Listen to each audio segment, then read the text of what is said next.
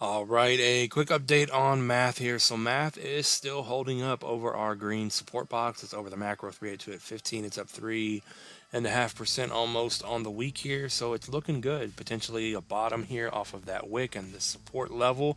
So keep it that simple. As long as you're over 15 to 16 pennies, the next couple of stops up and resistance levels to watch, of course, are going to be the first red resistance line here at about 22, 8, 22, so a 20% move. And then, of course, the macro 3, 2 here at 28. And that is a 48 to 49% move.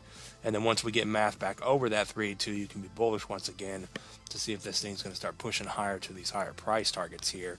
And keep in mind, I don't point this out a lot, but uh, on the macro scale, or pretty much on every scale, low to the high. Once you get over the 618 uh, retracement in whatever direction you're going, that's where you potentially have a breakout either to the upside or the downside here. So once math breaks over 28, you're bullish on it. And then once we get over the 618 at 77, that's when you have the potential for a huge breakout uh, to the upside here. So just keep that in mind. And going from today to make it up to that level, of course, is a 300% move. So a 4x to get up to the 618 retracement. So that also could be a good target and a target a lot of people are watching uh, for potential taking profit there. So just keep that in mind.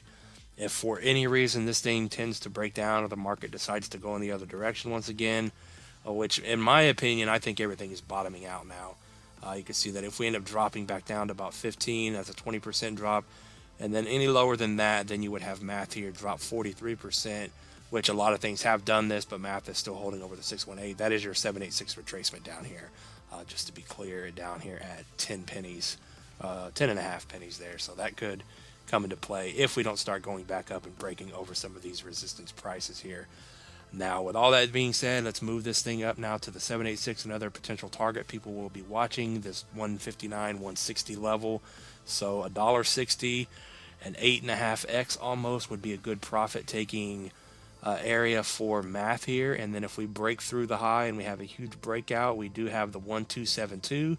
This is our target here, the $1.4 billion market cap up to 1275. And that's where you're going to get that 67x on your investment from today. So not bad at all for math here. What are your thoughts? Comment down below. None of this is financial advice, and I'll see you in the next one. Peace out.